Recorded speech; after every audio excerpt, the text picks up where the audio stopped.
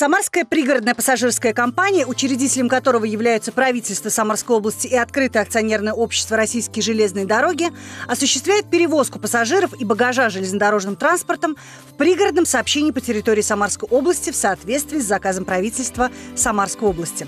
Учитывая высокое социально-экономическое значение железнодорожных пригородных перевозок в жизни общества, основными задачами компании является сохранение маршрутной сети, обеспечение транспортной доступности для жителей Самарской области, улучшение качества обслуживания пассажиров, повышение эффективности и рентабельности данных перевозок и расширение спектра оказываемых услуг. Всего для обслуживания пассажиров на территории Самарской области задействовано более 400 человек – на полигоне обслуживания Самарской ППК 107 остановочных пунктов. Оформление проездных документов пригородные поезда осуществляют 36 билетных касс, в которых ежедневно пассажиров обслуживают 160 кассиров. За 7 лет работы компании перевезено более 55 миллионов человек. Общая протяженность маршрутов пригородных поездов по территории Самарской области составляет 522 километра. Учитывая социальную значимость пригородных перевозок железнодорожным транспортом для населения Самарской области, трудовой коллектив «Самарская ППК» продолжает работу по совершенствованию производственной деятельности, направленной на обеспечение транспортной доступности и улучшению качества обслуживания пассажиров. В 2017 году компания планирует перевести не менее 8 миллионов человек. Здравствуйте, это программа «Город С», и я Елена Чернявская. В период масштабного ремонта автодорог, который сейчас развернут в регионе, заметно переориентирование пассажиров с автомобильного транспорта на железнодорожный. Пассажиропоток в пригородных поездах вырос в разы, в городе дороги перегружены автобусами, машинами, а железная дорога при этом остается безопасной, быстрой и удобной. Вот в течение семи лет Самарская пригородная пассажирская компания считается одним из основных и самых надежных пригородных перевозчиков на территории Самарской области. О новшествах, развитии, перспективах и безопасности. Я говорю сегодня с Олегом Анатольевичем Петрыхиным, генеральным директором Самарской пригородной пассажирской компании. Здравствуйте, Олег Анатольевич. Здравствуйте, Елена. Здравствуйте, уважаемые телезрители. Ну что же, давайте поговорим, а, над какими актуальными для пассажиров проектами сейчас работает ваша компания? Ну, во-первых, задача нашей компании – это повышение качества обслуживания наших пассажиров – мы одна из немногих компаний, которая не только сократила э, стационарные билетные кассы, но и увеличиваем. В стране их, таких компаний, как нас, всего 25. А, также для контроля э, диалога между пассажиром и кассиром мы установили программное обеспечение. Называется оно «Пассажир-кассир», где мы можем все это прочитать, увидеть mm -hmm. и услышать. Ну и для оформления проездных документов э, в электропоезде непосредственно в билетных кассах. Компания совместно с транспортной картой э, провела модернизацию нашего оборудования, в связи с чем э, пассажир может у нас безналично оплатить проезд э, посредством транспортной карты, также любой банковской карты, угу, которая то есть. есть. Это просто, удобно, Быстро. Ну и современно, да, самое да, главное. Да, да, да, да. Ну что же, хорошо, пути развития а, самарской компании, вот 7 лет, что было сделано за этот период?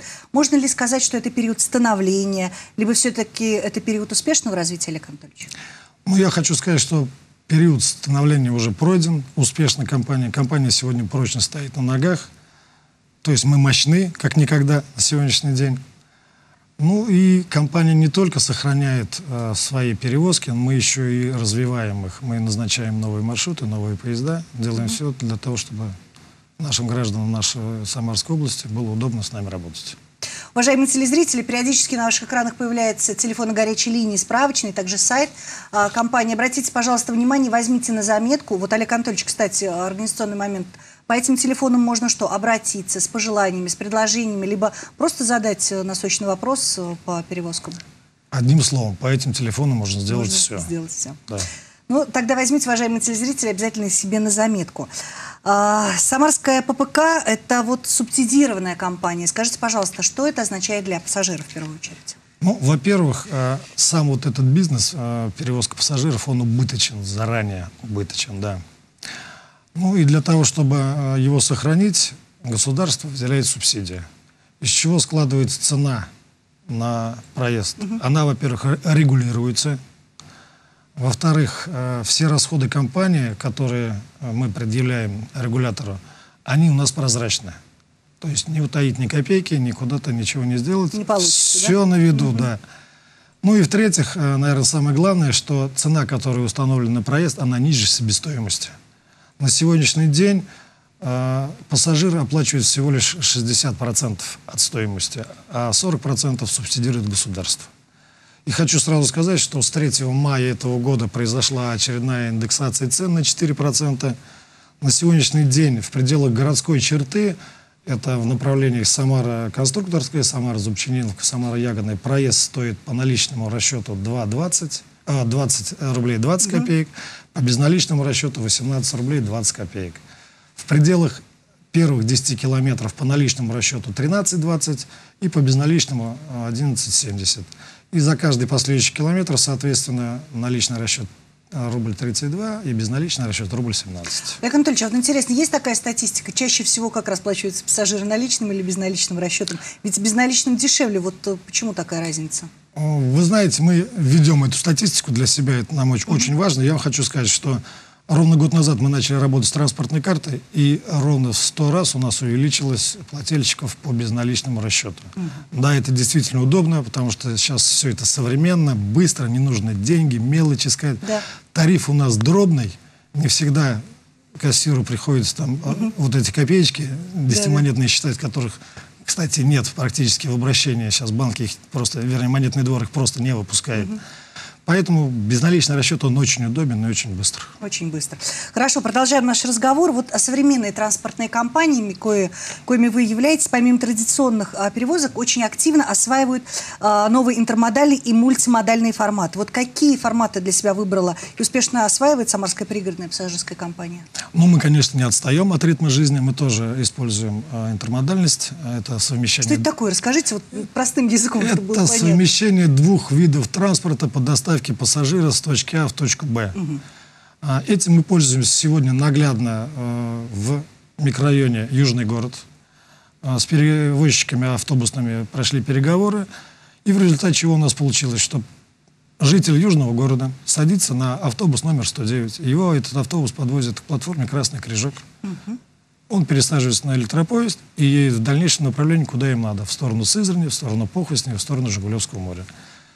Также мы этим, э, этой услугой пользуемся тогда, когда железная дорога проводит технические ремонты своих, своей инфраструктуры. Mm. К примеру, из точки А в точке Б едет поезд, в точке А1 он останавливается, мы подвозим туда э, автобусы, пересаживаем пассажира в автобус и везем его в дальнейшую точку Б. Это очень удобно для пассажира. Почему? Потому что э, иногда ремонт происходит в тех местах, где просто нет автобусного сообщения. Ну а потом э, много, многокилометровые пробки, и это очень удобно. Но, Олег Анатольевич, правильно ли я вас понимаю, что вот это, этот вид перевозки э, в, связи с ремонтом Южного моста, когда он э, будет отремонтирован, наладится обычное сообщение, или это будет развиваться, продолжаться и так далее? Не факт. Все зависит будет, естественно, от э, пассажиров. Я думаю, что за, ремонт, за время ремонта Южного моста они привыкнут да. к нашему качеству, к нашей надежности и останутся у нас. А, вот еще тоже сказал, не досказал в первом вопросе вашем, а также мы пользуемся по перевозке интермодальности, по перевозке пассажира с города Самары до аэропорта Курумыч. Угу. Пассажир садится у нас в городской черте в электропоезд, приезжает до платформы Курумыч, там он пересаживается в комфортабельный автобус, и его уже автобус везет непосредственно в терминал аэропорта Курумыч. Очень удобно. Хочу сказать, это не то, что удобно, это намного экономичнее для пассажиров, потому что... Экономично по деньгам. Олег да, Анатольевич, да, да, в первую да, да, очередь, да, да. ну и, конечно, самое главное время – деньги. Экономится время, значит... И время, однозначно. У нас э, время сейчас составляет прибытие до аэропорта Курумыч, это 1 час 16 минут. Если мы от того же железнодорожного вокзала сядем на э, колесный транспорт, то, я думаю, часа два с половиной-три мы будем туда ехать. Знаете, я обязательно воспользуюсь. Вот лично я на себе очень хочу проверить, насколько это вас. быстро и удобно. Хорошо, вот направление Самара-Новокуйбышевск также пользуется очень а, большим спросом у местных жителей.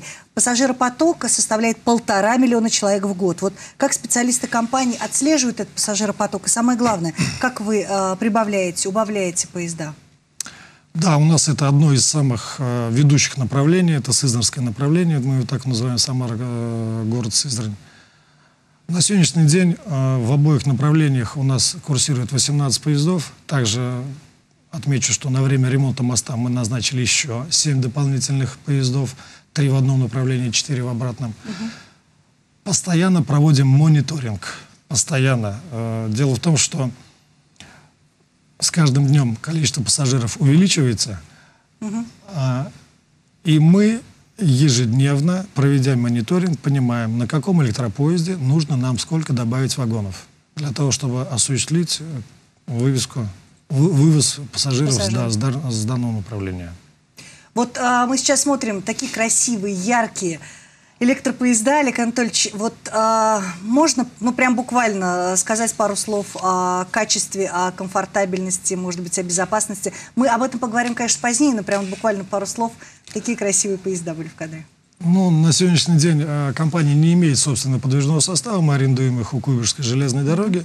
Подвижной состав действительно нам просто повезло. Э, он практически новый. Э, время выбытия первого состава только в 1932 году. Также мы очень сильно свое внимание уделяем к санитарному состоянию поездов.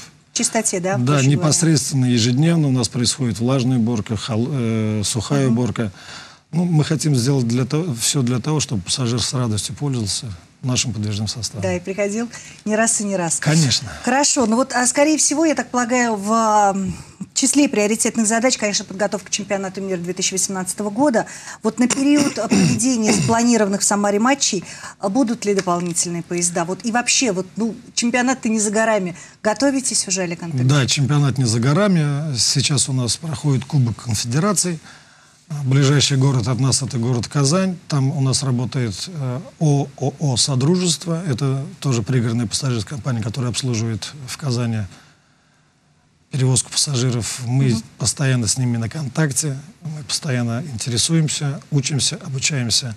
Ну и на период проведения чемпионата мира, естественно, мы будем перевозить э, ускоренными э, поездами по направлению Самара аэропорт Курумыч и Самара-Тольятти использовать дополнительные электропоезда. Тарифы уже э, как-то устанавливаются, регулируются? Какие будут Тарифы цены? на чемпионат мира, мы их везем бесплатно при наличии э, билета чемпи э, ну, да, на да, футбол, да, да, да, билет да, да, на... да, да, все будет включено групп. в стоимость угу. этого билета. Здорово.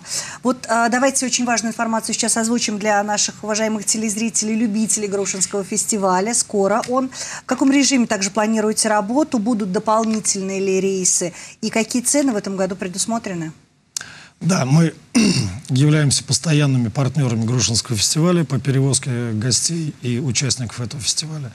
В этом году мы тоже будем это делать. А, на период проведения Грушинского фестиваля мы назначили всего 64 пригородных поезда в этом направлении.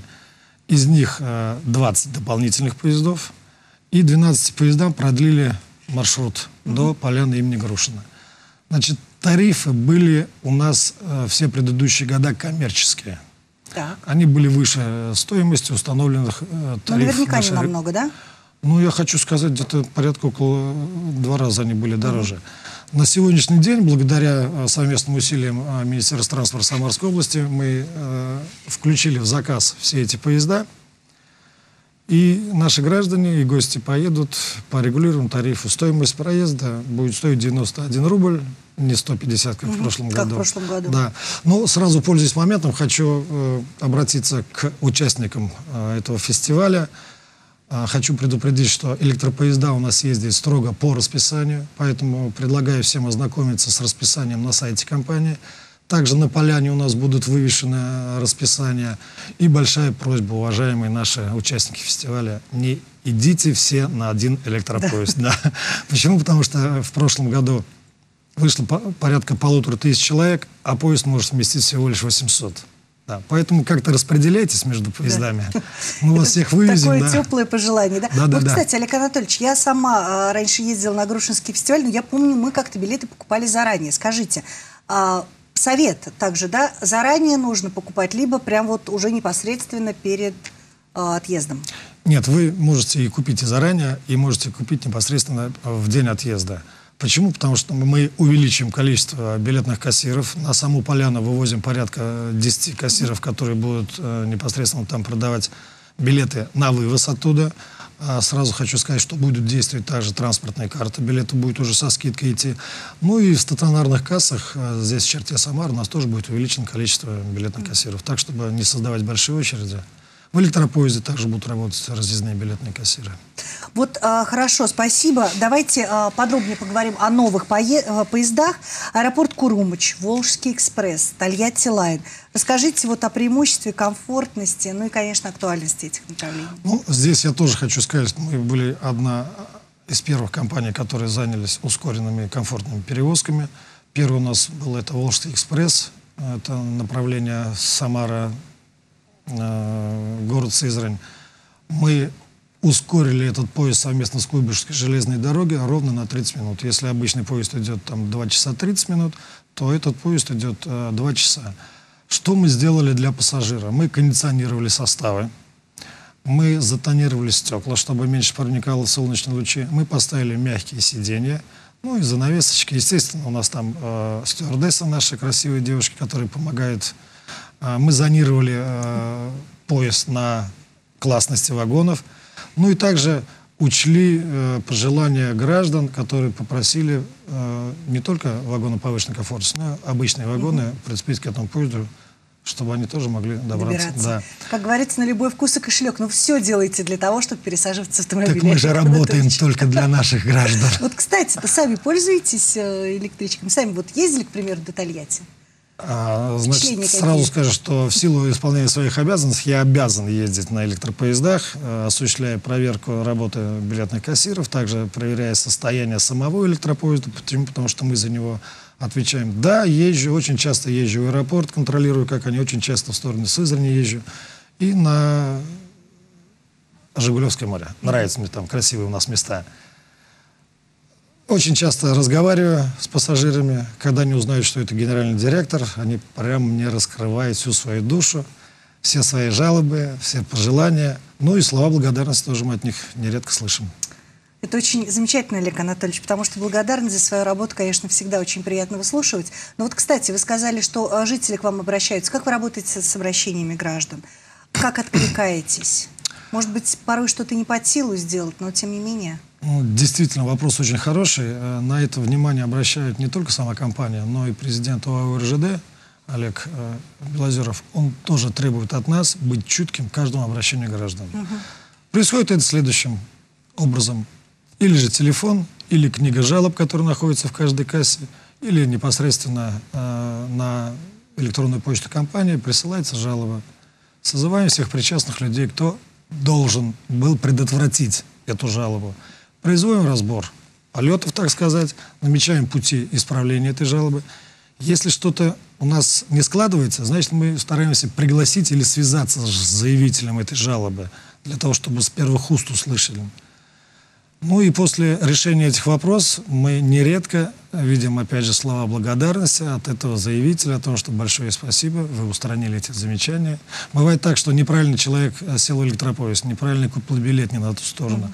Мы стараемся идти навстречу и возвращаем эти деньги на э, телефон, мобильный телефон заявителя. То есть мы лицом, еще раз говорю, лицом повернулись нашему пассажиру. Сервис, в данном случае хочется добавить, работаете а, все как говорится, для пассажира. Олег Анатольевич, мы с вами говорили про Волжский экспресс. А, я предлагаю сейчас ненадолго прерваться и посмотреть сюжет с открытия и запуска первого поезда. Внимание на экран.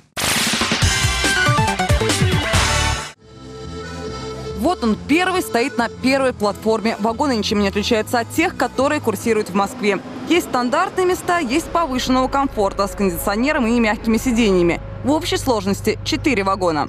Здесь 70 человек, в головном вагоне 52 человека. А кто одни сюда, туда, сюда? А это специально. Кто-то же не может назад ехать спиной.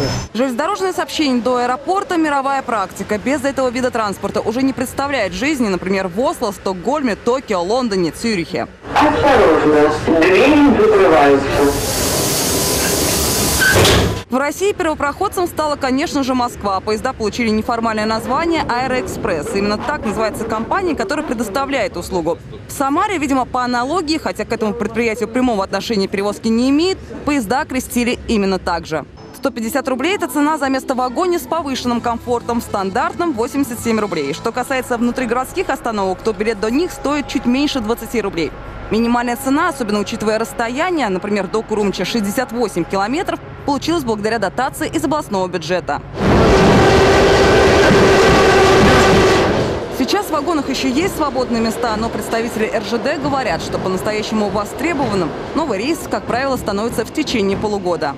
Предусмотрены на этом рейсе и промежуточные остановки. Стахановская, Пятилетка, Средневолжская, Ягодная. Удобно будет добираться и жителям Крутых Ключей. Сейчас решает вопросы по поводу поселка Береза, чтобы жителям, а это 5000 человек, было удобно добираться до города. На первых рейсах загрузка составила примерно 10%. Аэропорт – это главная точка приема гостей к чемпионату мира.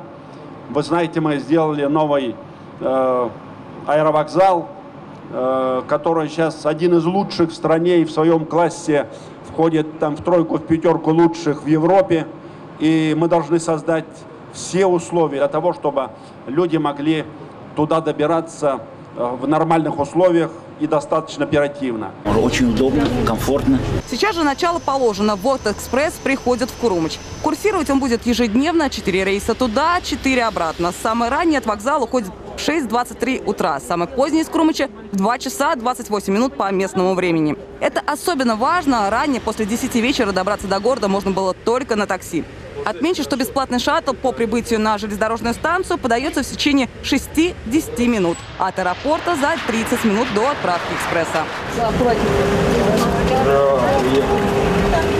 Глава региона обратил внимание железнодорожников и на привокзальную территорию. Предложил на месте заброшенного здания РОВД создать многоуровневую парковку, а существующую на площади переделать под сквер. Как неоднократно подчеркивал и президент страны, и губернатор, какой Россию увидят туристы во время чемпионата мира, такой они ее и запомнят. За эти два года предстоит изменить многое.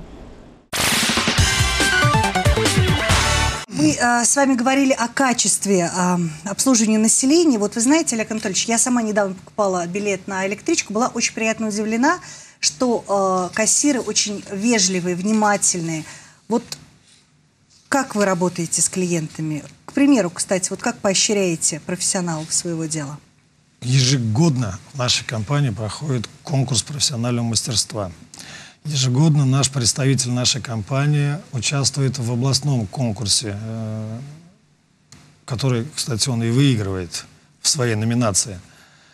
А в этом году, в этом году мы начали проводить э, этот конкурс в стиле квест. Что это такое? Это было у нас образно разграничено на количество станций, их было порядка семи, где каждый конкурсант выполнял поставленные, четко поставленные задачи. Эти задачи были э, тушение пожара, реанимация там, пострадавшего, проверка купюр на благонадежность. Э, вы знаете, всем очень понравилось.